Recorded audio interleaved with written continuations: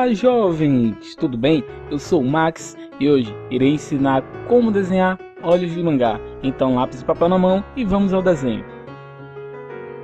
Esse primeiro olho é o mais difícil que eu vou ensinar hoje. Os outros são bem fáceis, então não se preocupem. Façam dois traços laterais e um dividindo o meio deles. É, vamos fazer um traço superior para marcar o local onde vai ser a sobrancelha acompanhem desenhando, senão não vai ter resultado, não tem como aprender sem praticar. É, faremos outro traço superior ali no, no meio, na metade, que é para já o traço do olho mesmo. Outro traço na, na parte inferior, esse olho vai ser um pouco mais fino, é um olho masculino, já está dando para perceber. Um círculo no meio, um círculo perfeito, mesmo que ele tá, esteja saindo da marcação do olho, pode fazer, não tem problema. Depois, quando for finalizar com a caneta, você pode apagar esse círculo depois. É, vamos passar a caneta aqui na sobrancelha, algo bem simples.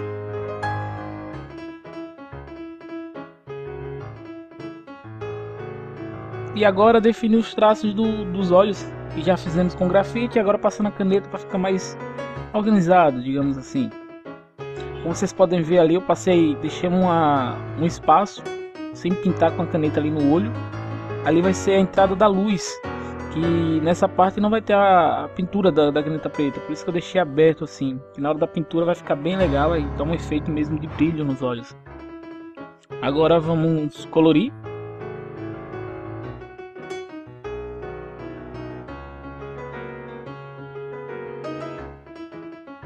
Lembre-se, sempre com traços leves e rápidos. Estou fazendo um degradê com essas cores aí nos olhos. Utilizei um, um verde mais forte, mais escuro. E depois um verde mais clarinho. E nas partes brancas ali utilizei um cinza.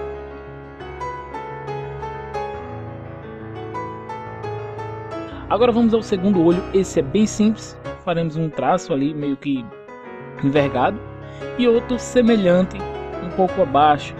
E teceremos ele vai ficar parecendo com um, um círculo só que esticado. Bem fácil. Fazer um bolinhas aqui e um quadrado no meio. Essas são as partes de luz do olho. Só estou definindo agora com a caneta. Esse desenho como eu falei antes é bem simples Pronto, agora iremos colorir. Farei degradê novamente do azul claro, azul escuro. Quer dizer, em branco, deixarei uma das partes em branco para dar um brilho. O azul, fazer o degradê do preto para o claro. Pronto, mais um olho feito. Vamos para o próximo, deixa eu ver. Hum...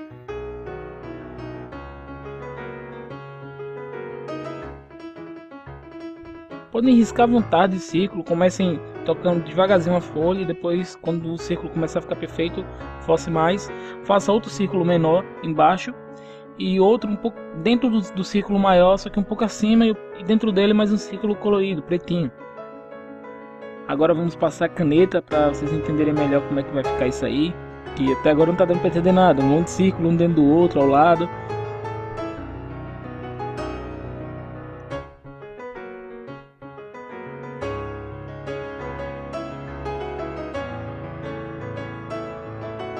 É, o círculo maior e aquele inferior que está ao lado, eu não separei ambos. Deixei juntos para dar um aspecto de cara de choro, sabe? Quando os desenhos animados fazem isso, geralmente é que o personagem está querendo chorar ou algo do tipo.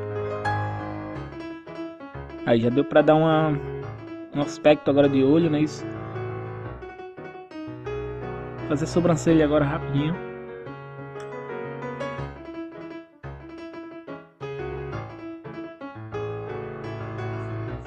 Sobrancelha envergada.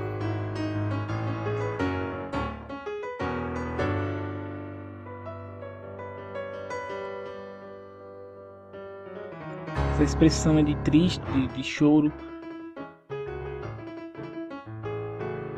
Agora vamos colorir de rosa.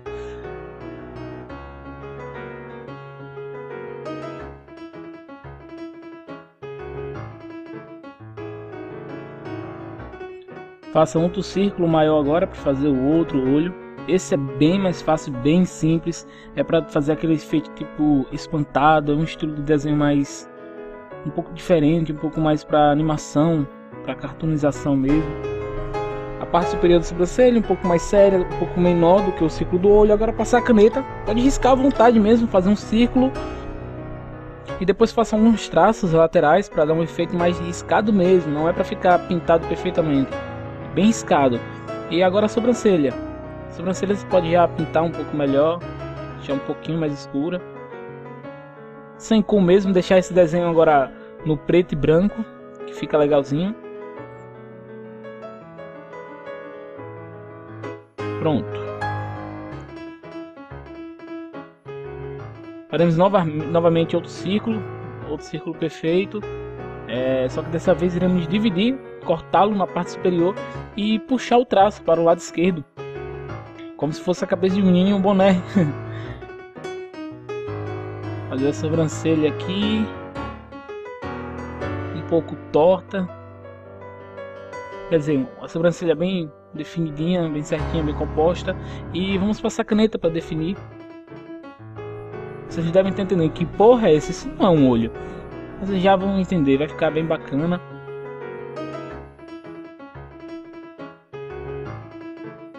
Esse olho é aquele olhar meio de lado, sabe? Tipo, quando alguém fala uma besteira, você olha para ele meio com o olho de lado. É, passa a caneta no lado agora um pouco mais grosso.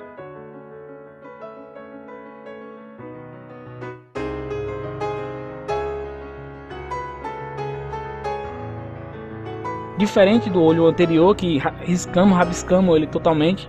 Agora iremos colorir certinho com a caneta preta.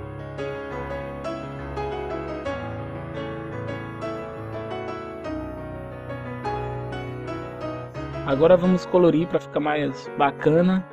Que até agora ele está bem simples, está parecendo uma letra P de lado.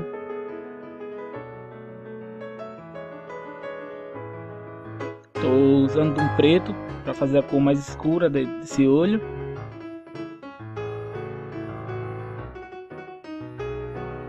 E agora o azul escuro, uso marinho. O azul claro para fazer a cor de base. E agora estou juntando as três cores para fazer um degradê. Pronto. Mais um olho pronto. Esse olho aqui vai ser fechado dessa vez só estou fazendo olhos abertos. É, em alguns momentos vocês precisarão fazer olhos fechados, então estou fazendo aqui uma parte bem grossa, perto, duas partes, dois traços um pouco envergados, bem grossos, e outro traço superior ali para dar aquele lugar ali a marcação do, da marca do bola do olho. E a sobrancelha nesse desenho fazer um pouco diferente, fazer traçada, rabiscada.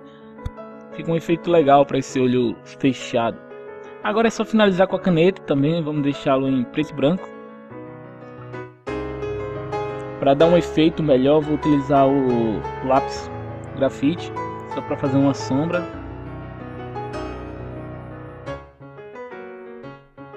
Esfumaçar aqui. Pronto, ficou legal. Vamos fazer mais um olho para finalizar a aula de hoje. Outro círculo e agora vamos dividi-lo na metade. Faremos outro círculo dentro, um pouco menor.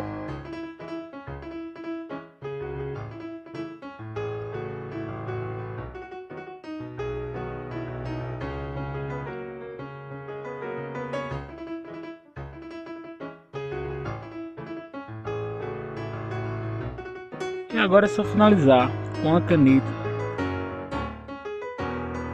Espero que ela esteja ajudando, galera. Se vocês estão gostando da aula, está ajudando aí para quem realmente não sabia fazer nada de olhos de mangá, é, deixe um like aqui embaixo. Vamos ver se conseguimos bater os 400 likes nesse vídeo. Se conseguir bater esse número, é, próxima semana vou trazer mais um vídeo ensinando como desenhar olhos de mangá, só que exemplos diferentes, é, mais, mais difíceis, é, mais animados também, que é bem pedido por vocês e adicione os favoritos, compartilhe com seus amigos. E para quem é novo aqui no canal, que esse é o primeiro vídeo que está vendo do canal Max Art, clique em inscrever-se e dê uma olhadinha nos outros vídeos, tem vídeo bem bacana aqui no canal, espero que você goste. Bom, colori esse, esse olho com amarelo aí, só para dar um diferencial entre os outros. Então é isso, galera. Espero que tenham gostado. É, não feche o vídeo agora. Espero até o fim do vídeo para ouvir o recadinho do meu amigo Henrique Quadros. É isso e até a próxima. Olá, jovens! Muito obrigado por assistir o vídeo até aqui. Por favor, não se esqueça de clicar em gostei e compartilhar com seus amigos. Para você que é novo aqui no canal e quer receber novos vídeos, clique em inscreva-se. Até a próxima!